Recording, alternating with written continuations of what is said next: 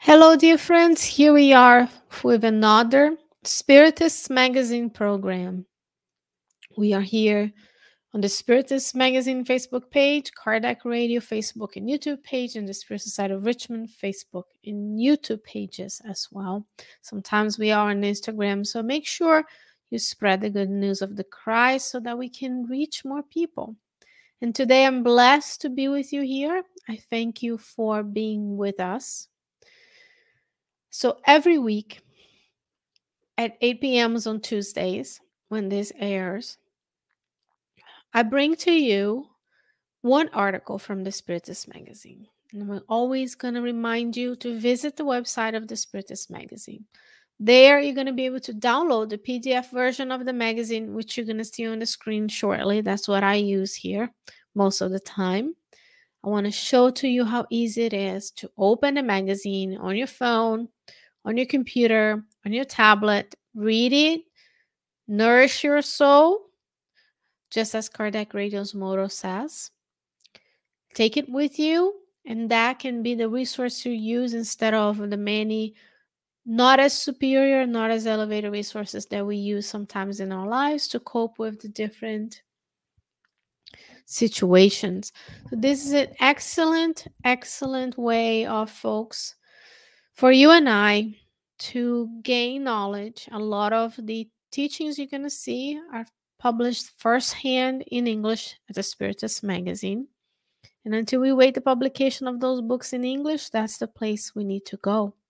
And as also we need to exercise that muscle where we are always looking to seek the good, to read the good, to nourish ourselves instead of allowing um, the negative news of the day to take over our attention. So today's article is from issue 43 of the Spiritist magazine. In this issue, I'm going to tell you exactly when it was published in October of 2018 issue 43 of the magazine. And this article is titled Expanding Spiritual Relationships. So I encourage you right now, go to the website, download the app to your phone, uh, Android and Apple um, devices, your tablets, open up issue 43 and or download the PDF.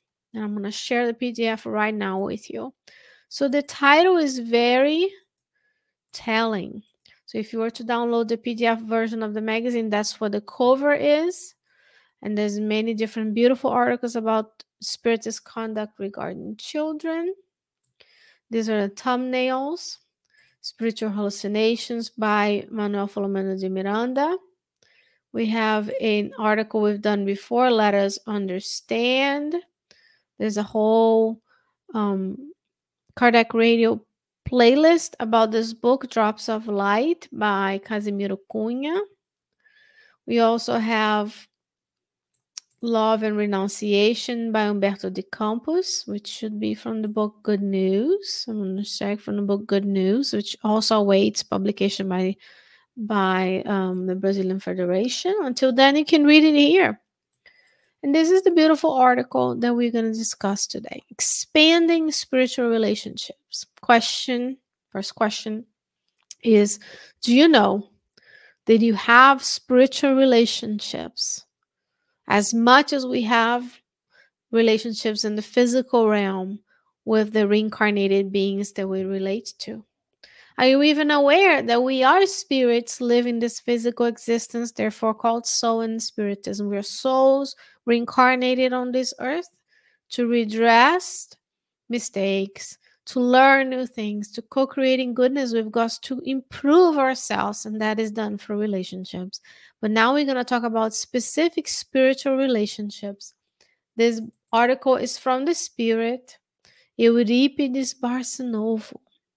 Euripedes Barsanulfo, and let me make sure I can show it to you one of what Euripedes Barsanulfo looks like.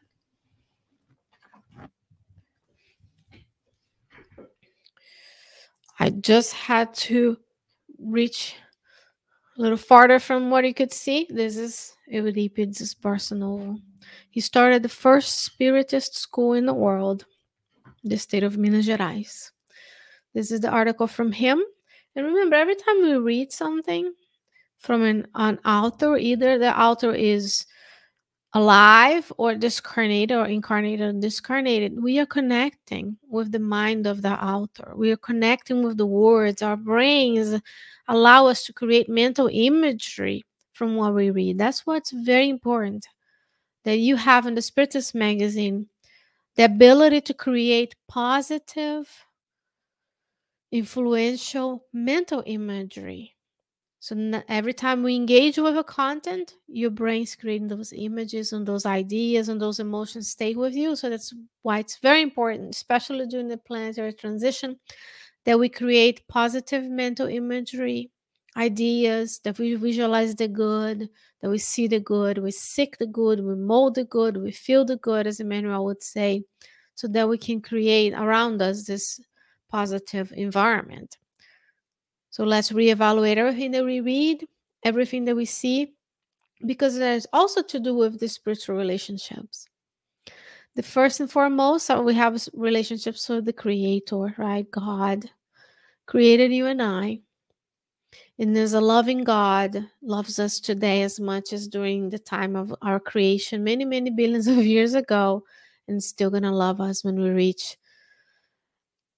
the state of a pure spirit and the state of a Christ spirit, for example. But we have a relationship with our mentors and guides. We have spiritual relationships with those who enjoy the things that you and I enjoy. So if you like to read good things, nourishing things, enlightening things, those spirits are there with you as well.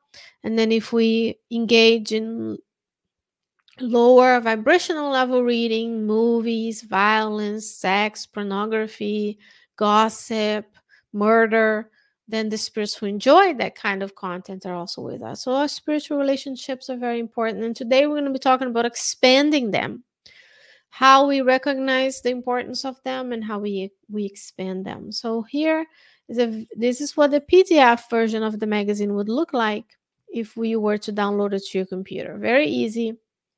I'm going to zoom in and out. I'm going to remove the thumbnail so there's a little bit more space for us to read. The first thing that uh, Euripedes Barsanulfo will tell you and I is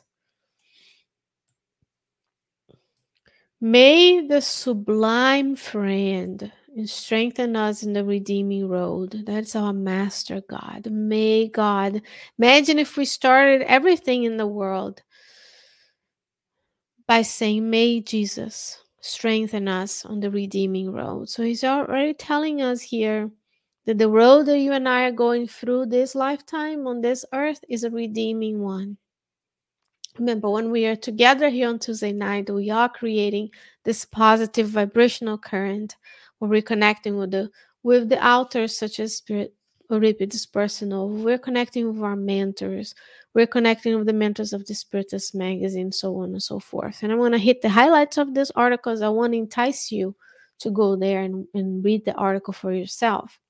It says the conquest of the new lights on the paths of life has provided the human beings with a series of precious, precious resources in the footsteps of physical health.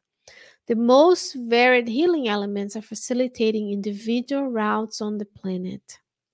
So, you, my brothers and sisters, have to your mercy a generous source of the these blessed resources for the recovery of energy spent by diseases in general every sick person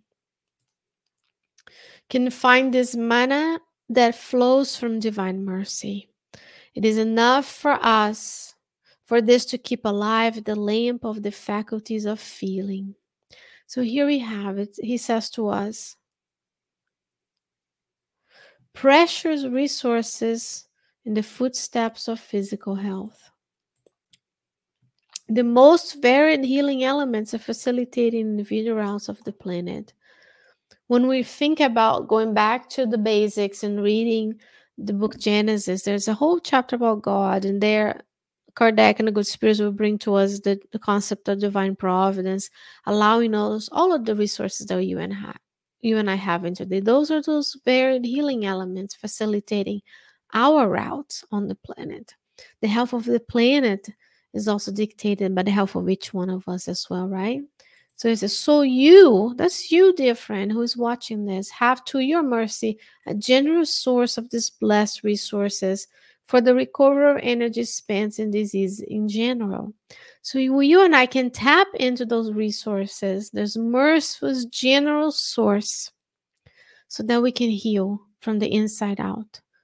In the book Evolution to Worlds, André Luiz tells us that our spirit's mind controls the cells of the spiritual body that then command the cells of the physical body. Therefore, by healing our, our thought patterns, by working on learning new skills of tapping into those general resources, we can start healing from the inside and then we will externalize a healthier being. That does not mean that if you just think the good, do the good, you're never going to have ailments. We have many examples of people who live their lives to the benefit of others They still have physical illness. Physical illness or disease or challenges are blessed ways for you and I to learn. We have to change that mindset. They're difficult, they may be painful, they cause stress, they got they cause suffer, uh, they can cause suffering, but it's up to you and I to tap into those resources. And he says, the celestial friend, our Master Jesus, gave us the example practicing in the highest sense the terms of love justice through the cultivation of love.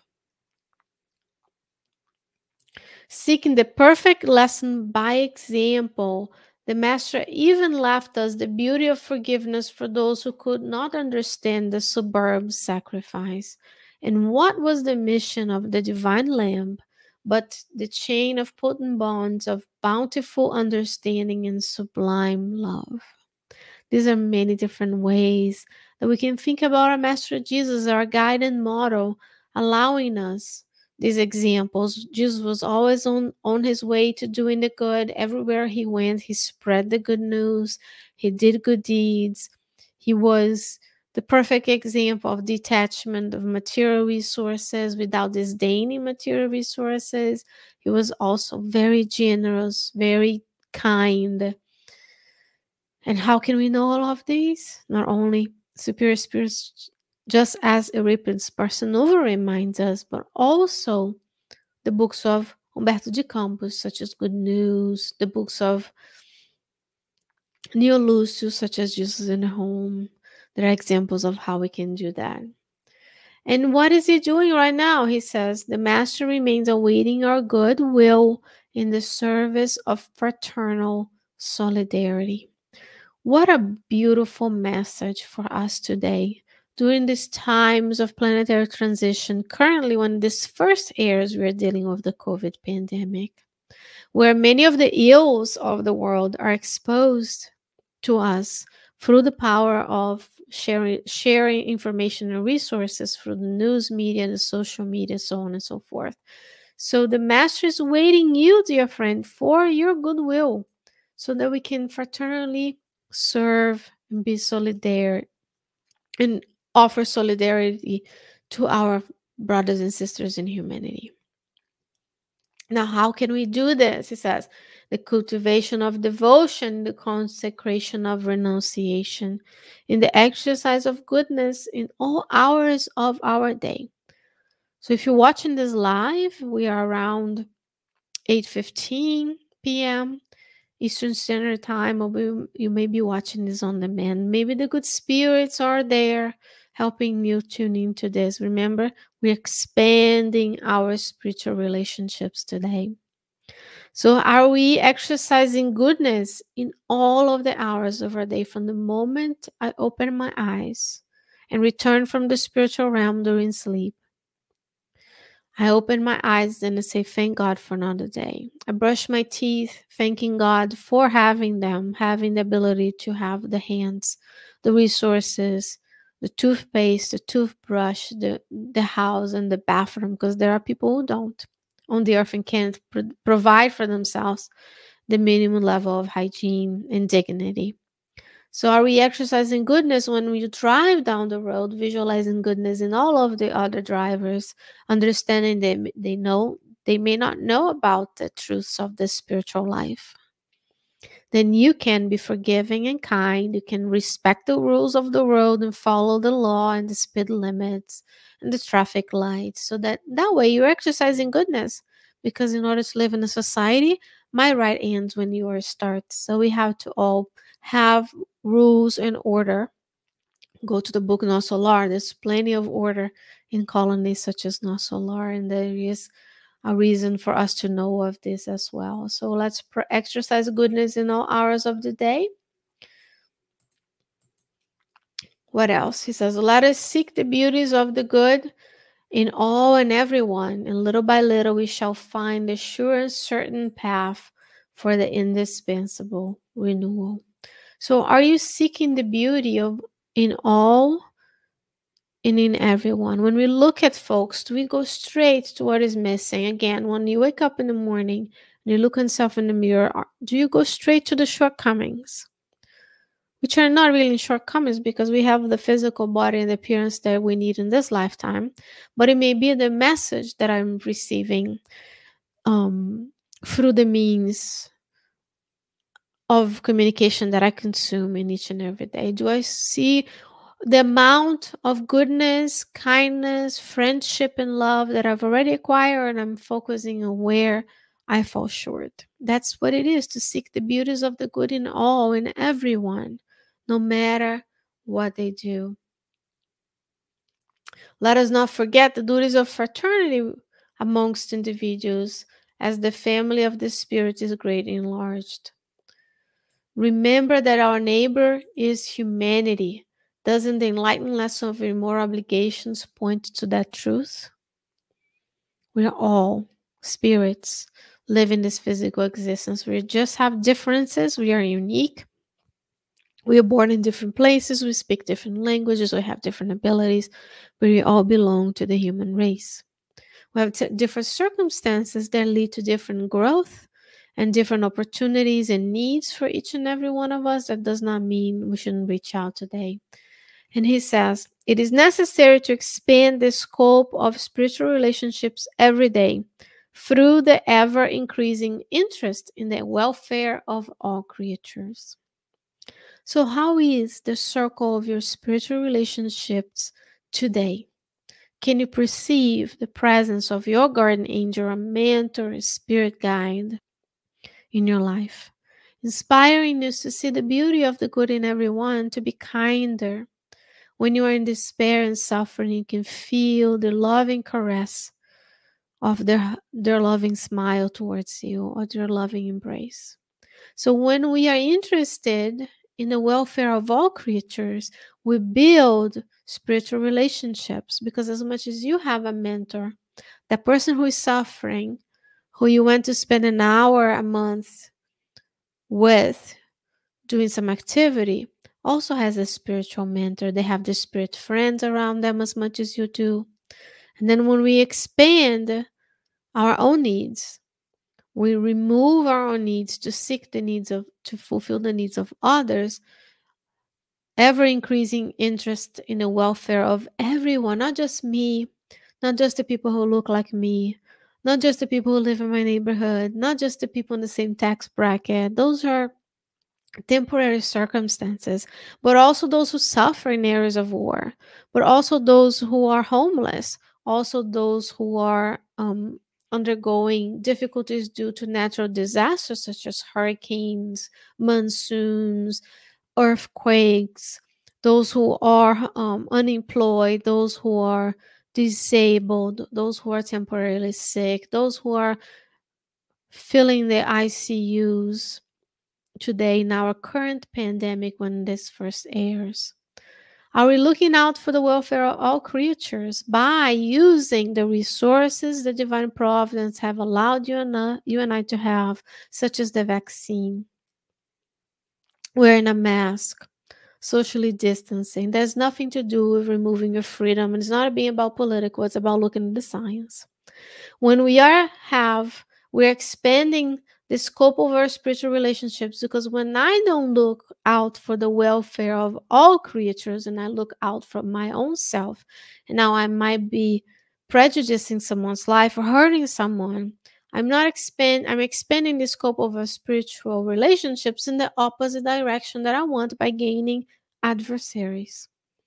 When my actions hurt others, those spiritual friends could come and come and be against me now. Instead of expanding the scope of my spiritual relationship when I take the precautions of public health for the welfare of all creatures.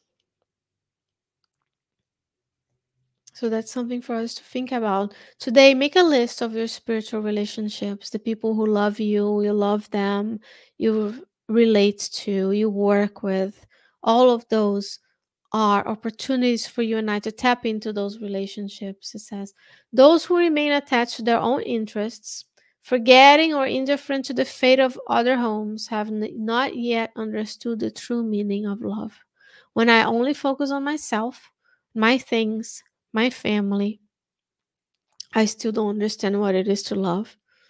There is, are you going to argue with me? Well, but there is a law of preservation in the Spirit's book, but there's also a law of society the love, justice, love, and charity, right? The law of preservation dictates that now I take the precautions and health measures that allow me to be a responsible citizen in the world.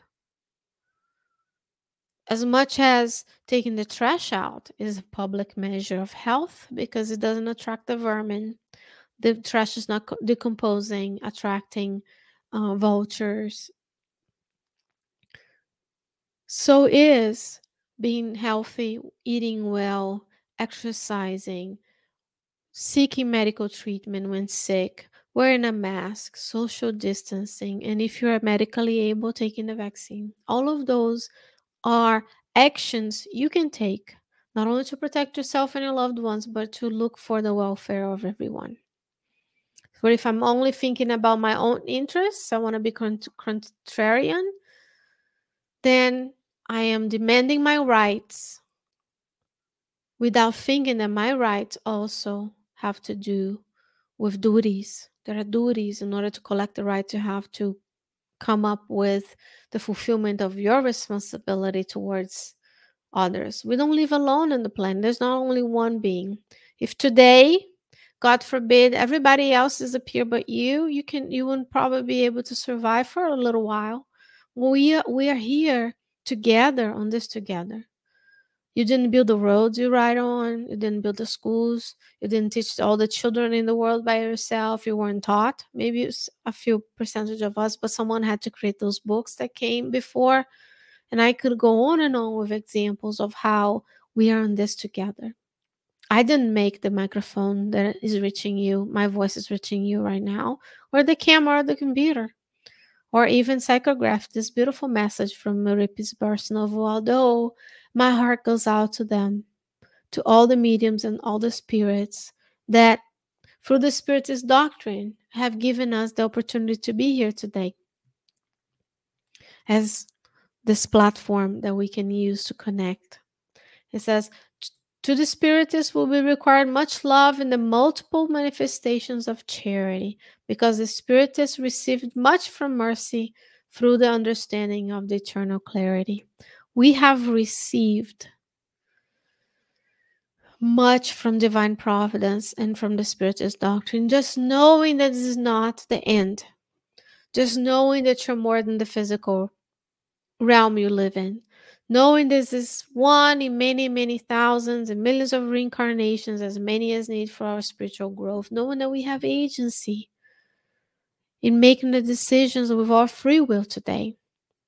Yet we are free to sow, but the harvest is mandatory. So I can I can I can choose to sow selfishness and pride, but I will collect the fruit of that selfishness and pride later because now my selfishness and pride is not in um expanding not expanding the scope of the spiritual relationships with an interest of the elf welfare of others but only myself.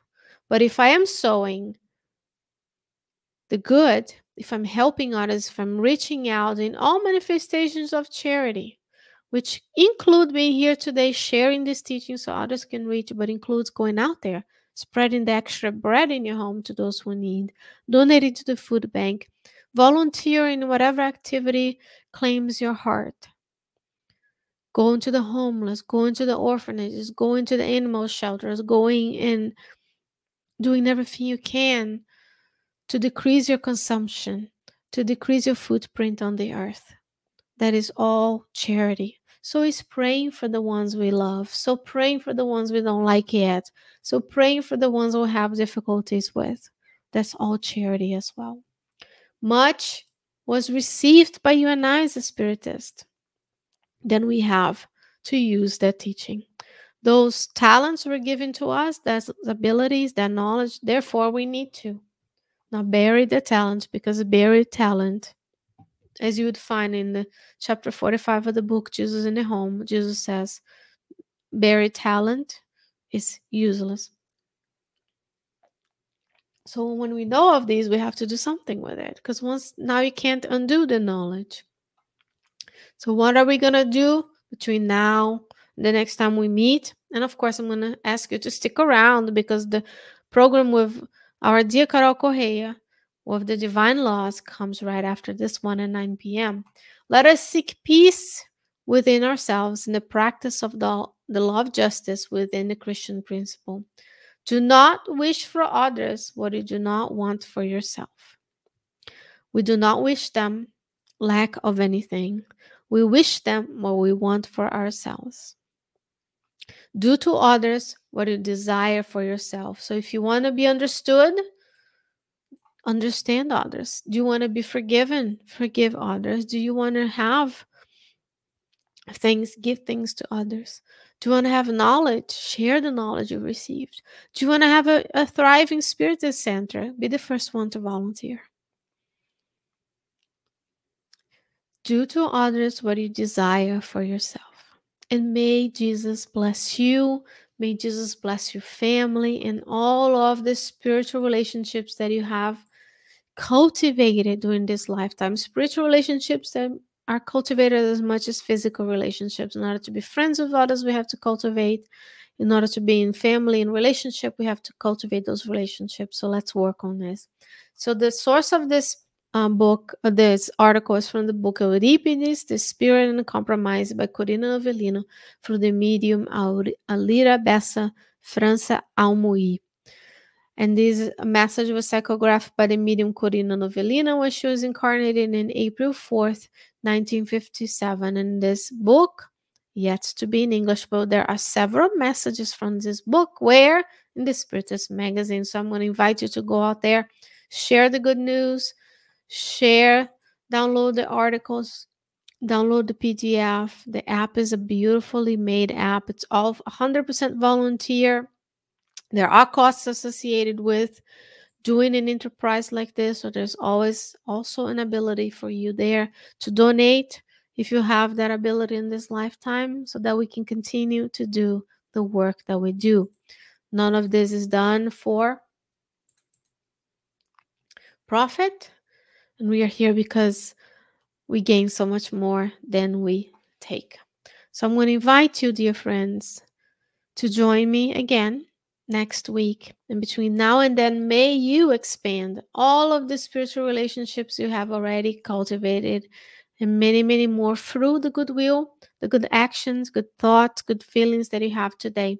I thank Euripedes Barsanulfo and Corina Novelina for bringing us this beautiful message and the Master Jesus for allowing us to be here today. Until next week, many blessings. Stay well, stay safe. I'll see you soon.